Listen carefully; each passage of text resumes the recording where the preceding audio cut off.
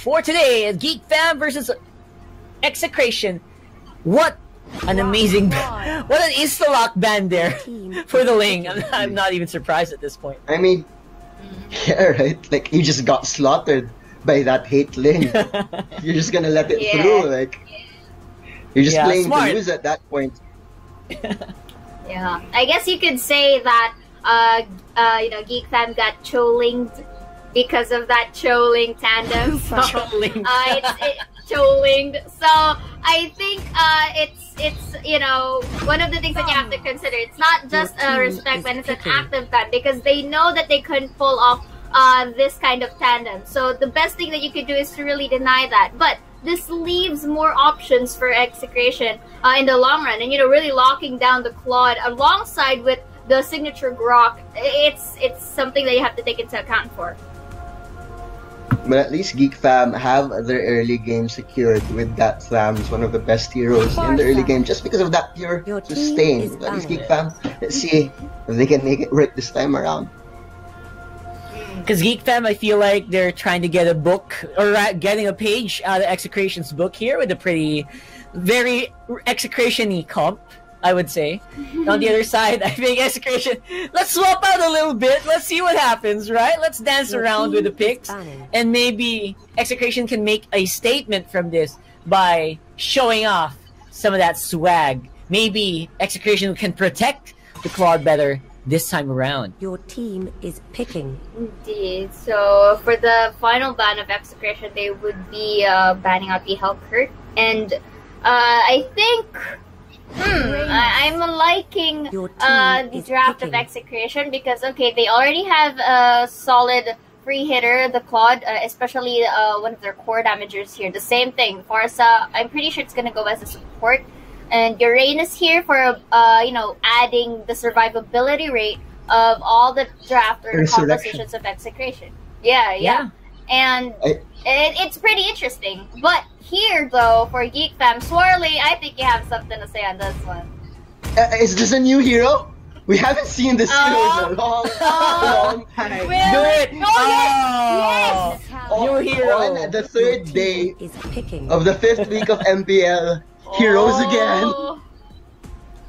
It My feels goodness, like after we got off quarantine, they stopped using Granger altogether, Yeah. right? Yeah. I feel like this is the first time I'm gonna see him ever since the quarantine started.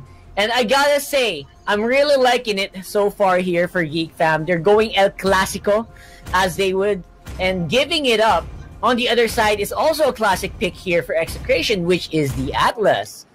I would say we got a match in our hands here again, guys. Don't you agree? I agree. I go for execration. All that. I love the tankiness and everything. So execration for me. I mean, I like the curveball in the Granger. Still, still a hero with a high win rate technically. Plus, I like the Natalia on CKTD. So let's give. I'm. gonna- I'm give Geek Fam a chance for this one. All right.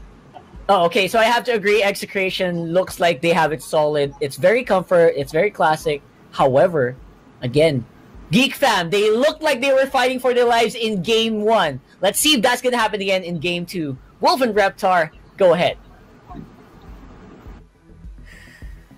Geek Fam says the recipe to make a comeback is probably to bring back a hero that we haven't seen in a while ever since the MPL came back for week four. We are your casters for this game number two between Geek Fam and Execration. My name is Reptar. Joining me here right now is Wolf. And don't worry, Wolf, I'm not going to leave you behind like I did in the first game. I'm sorry. I, I really enjoyed it inside Jawhead Suit. He has a, like a really neat entertainment system in there. But looking at what thi- these teams brought out, we're gonna put the focus onto Geek Fam because they're the team that really needs the wins here.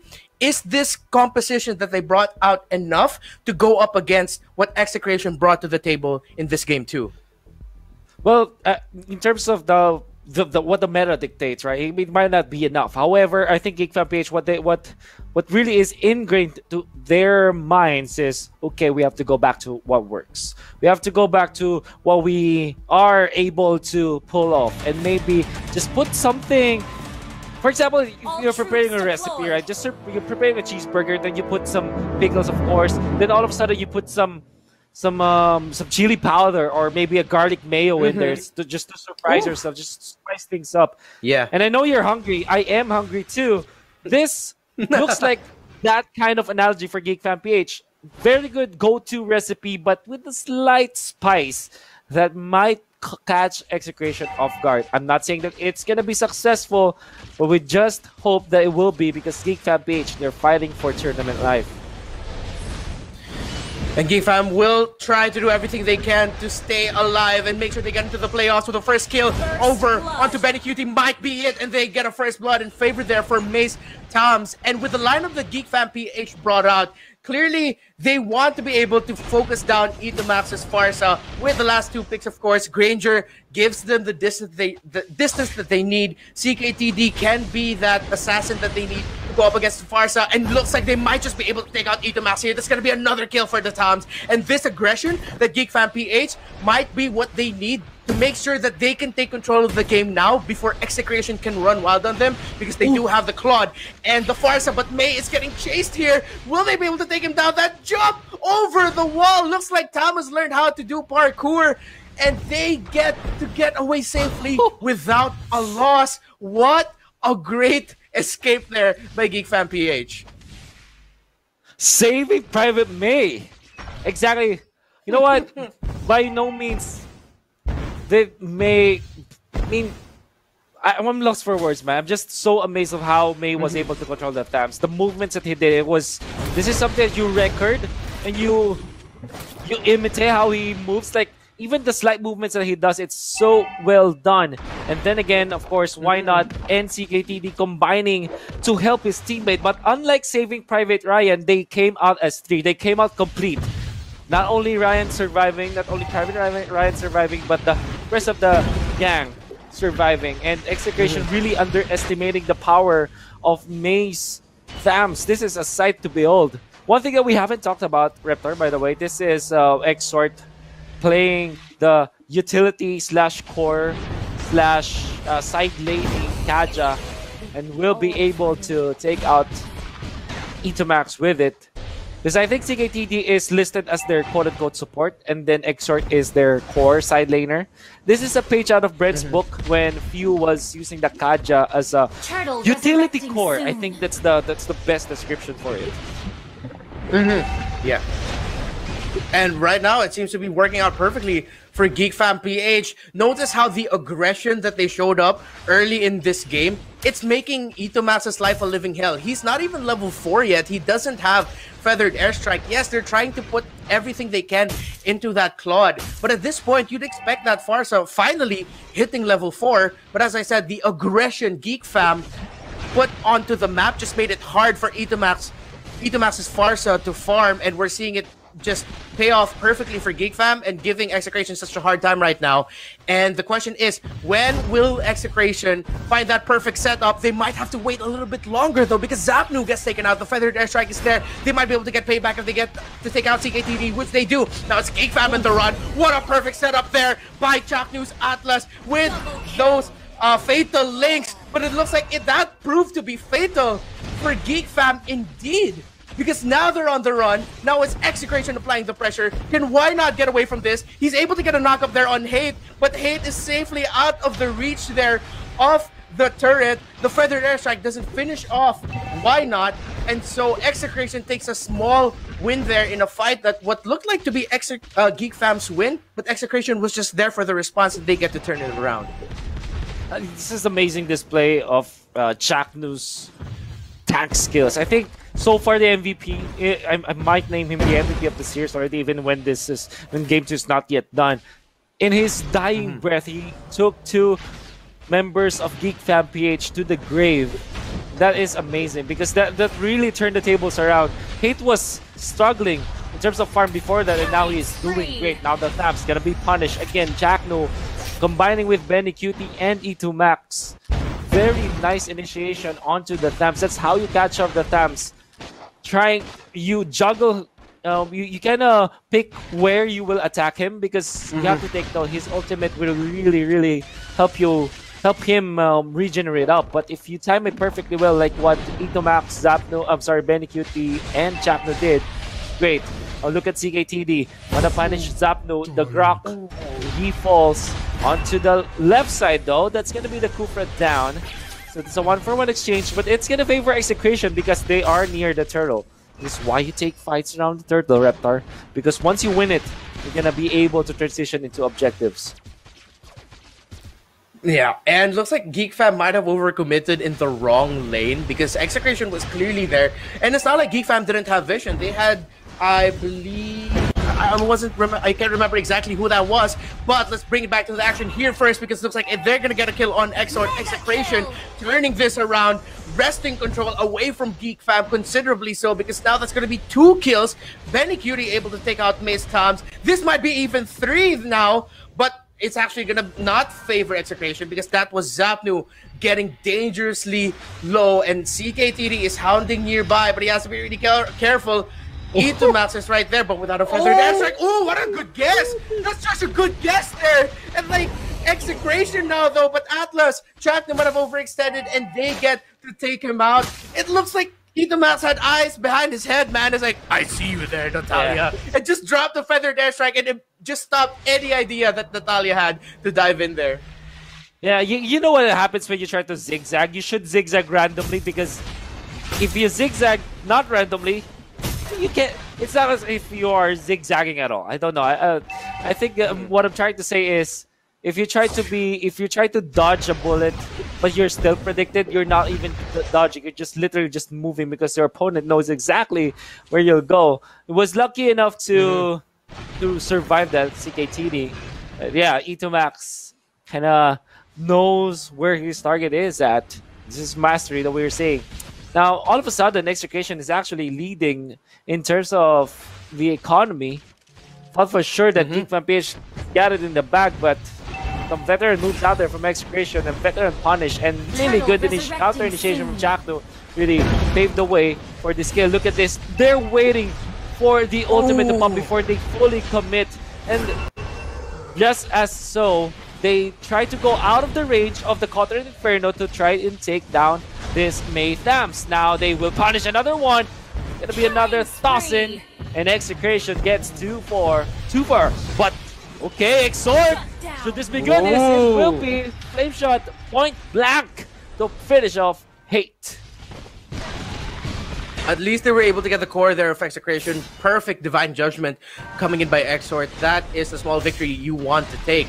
And because of the pressure that they were applied to other lanes, now they had to they were able to force back Zapnu's Grock all the way back to base.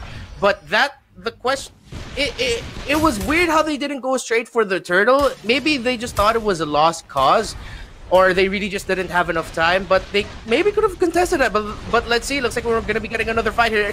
Execration looking to punish Geek Fam. They do because they get to take out Exort. The rest of Geek Fam now on the run. They don't have their Claude there. Execration's Claude isn't oh. there, but they don't need that core here because a lot of damage is coming in from Pharsa right now. But looks like the damage seems to be turning around right now. Execration trying to finish them off here, but Geek Fam with the perfect response. May is still somehow alive. Conrad Inferno is keeping him up. Oh, and that is a good turnaround there. Favoring Geek Fam, not really, because May just got taken out there. Cutie might be able to get more. Why not taking a lot of damage? Here comes the rest of Execration right now. The Claude finally joining in the fight. There's going to be a double kill there for the Uranus. Three down on the side of Geek Fam PH. And that is going to be a big, big win for Execration as they push down this middle lane turret, as they secure another purple buff that's supposed to be Geek Fam's, and as they continue to apply the pressure and step on the throat and the dreams of Geek Fam, Execration telling them, you're not gonna make it to the playoffs because we're here to stop you. We don't care. Our our slot is fine, but we still want to win. A game is a game, and Execration is giving that game. Geek Fam though having a hard time turning the turning things around. Reptar, that's the dagger really to the heart of Geek Fam PH. And it was delivered by E- E2 Max. And he says, mm-hmm. Execration pays their regards. Man, that was a godly winter truncheon use. And because of the fact that they dove mm-hmm. onto E2 Max, I mean, Geek Fam PH dove into E2 Max, they have committed so much. Just one winter truncheon really saved the day. Why not? Will definitely die here. And to what effect CKTD? Another Winter Truncheon in there and look at the punish from Execration. Zapnu with a godly wild charge. Lining up two members of Geek Fan Page, making sure that nobody dies from Execration.